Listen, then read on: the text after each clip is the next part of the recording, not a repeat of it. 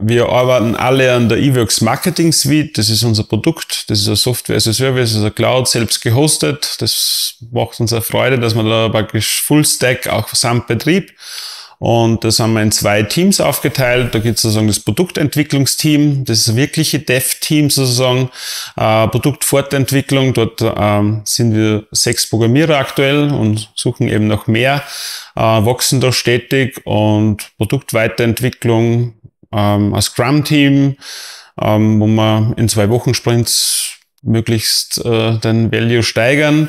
Und das zweite Team, das ist sozusagen Service and Account Management, nennen wir das, das arbeitet so Kanban-mäßig, das ist eine Form von Konfigurationsmanagement äh, für den Kunden, sprich Mandanteneinrichtung, Anpassungen und eben die Individualität hinsichtlich Kunden ist uns auch voll wichtig und daher machen wir so, so E-Mail-Templates, ähm, Formulardesigns, CI-Anpassungen, Schnittstellenberatungen. Also wir wollen da immer Richtung Kunden arbeiten und wollen aber zugleich ein Team haben, was am Produkt arbeitet, aber natürlich da eigentlich als Gesamtteam zusammen, aber natürlich ist der Produktfokus eine andere Denkweise als die Kundenfokus, weil ja der Kunde wünscht sich immer 100 Dinge, aber wir müssen natürlich das Produkt gesamtheitlich weiterbringen.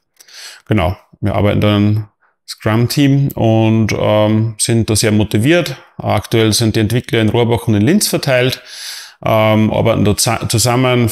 Viel Homeoffice ist eh schon standardmäßig, wobei ähm, zum Beispiel letzte Retrospektive ist wieder rausgekommen, dass wenn alle im Büro ist, irgendwie das dann trotzdem noch besser ist. Allerdings, ähm, es wird auch gefordert und wir leben das auch und haben da immer vollstes Vertrauen. Und ähm, Homeoffice ist schon fast zum Standard geworden und es hat uns schon Tage gegeben, wo wir äh, äh, alle in Teams eingestiegen sind. Also wir verwenden da Microsoft Teams und dann eigentlich könnten wir wieder mal ein Daily im Büro machen, weil wir eh alle da sind, aber weil es halt schon gang und gäbe ist und auch die Prozesse darauf abgestimmt sind.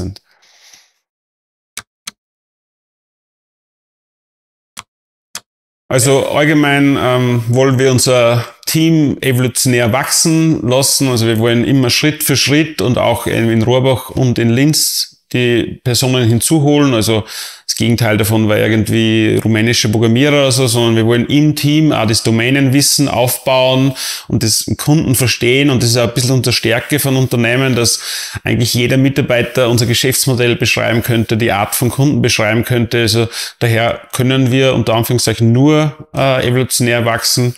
Beim Einstiegsszenario haben wir bewusst sozusagen ein zweistufiges, äh, persönlich für immer das Erstgespräch. Da geht es eher um soziale Skills, ähm, unsere Prinzipien, also dieses transparente, selbstbestimmte Leben.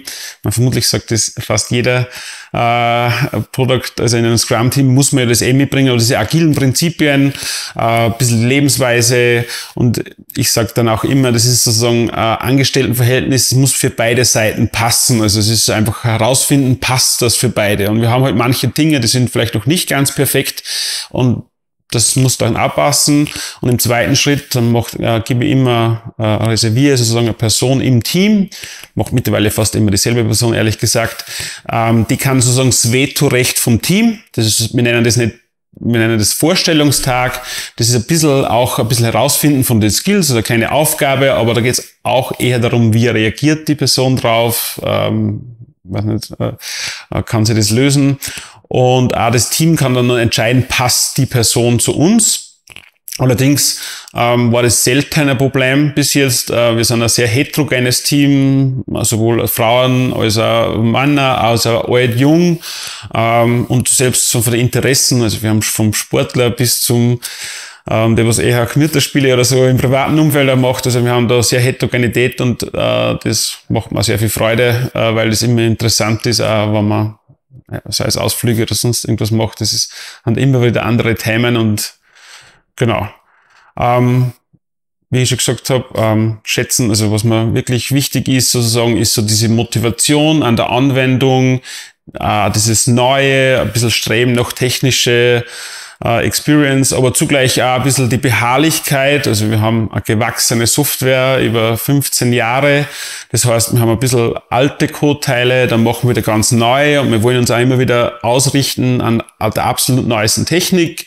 Äh, haben auch einmal, letztes Jahr waren wir zum Beispiel auf der VIO Developers und auch heuer werden wir vielleicht nur eine Messe oder Anfang nächstes Jahres anschauen. Also immer das Neue, auch mit Microservice-Architektur, aber zugleich muss man ab und zu die alten äh, Softwareanteile noch mitbetreuen oder oftmals ist einfach durch die höhere Anzahl von Nutzer, die höhere Anzahl von Kunden, äh, Anwendungen, was bis jetzt noch performant waren, muss man dann wieder architektonisch anders ausrichten und da ist halt immer so ongoing äh, weiter und weiter und da arbeiten wir immer eng zusammen und das braucht's auch. Also das ist unser An ähm, Zusammenarbeit lebt da ein bisschen von der. Natürlich arbeiten unsere Prozesse, haben wir Devil, äh, Pipelines, haben Ticketsystem und so ist eh alles schon State of the Art. Das hätte man vielleicht von zehn, Jahr, zehn Jahren sagen können. Aber selbst da, wenn wir uns immer Weiterentwicklung, auch Testautomatisierung und solche Themen.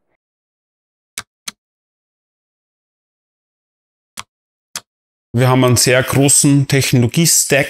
Ähm, das ist auch, weil halt wir hinsichtlich kundengerichtet immer arbeiten und ähm, schon historisch die Software länger ist. An sich ist .NET-Entwicklung. Ähm, Frontend-Technologie Vue ist vor ein paar Jahren drauf gesetzt worden, sind wir mittlerweile sehr zufrieden damit. Und dann haben wir so Pattern Libs, äh, also ASB, äh, also äh, Microsoft Datenbank mit SQL. Allerdings, ähm, zum Beispiel bei unserer neuesten Planung gerade, äh, wollen wir auf einer NoSQL-Datenbank auch, auch einsetzen. Wir wählen auch oft die Technologie, was für das Problem am besten gelöst ist, falls das möglich ist. Und ähm, dass wir das mit Microsoft, äh, Microservices weiterbringen, sprich jeder Microservice für sich. Ähm, das haben wir erst vor zwei Jahren oder drei Jahren so begonnen, die wirklich absolute Kapselung. Ähm, daher ist noch nicht alles ein Microsoft und wir wollen halt alles orchestrierbar machen. Das ist jetzt so Schritt für Schritt. Und wir betreuen eben da auch den eigenen Betrieb mit Docker-Services und so das Aufbauen.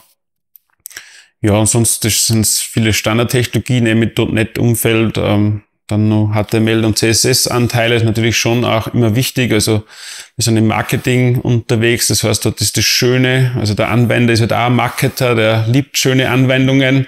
Das heißt, da muss man sich schon immer auch sehr bemühen und auch hinsichtlich Verkaufserfolg äh, macht nicht nur die Funktionalität was aus, sondern auch das Design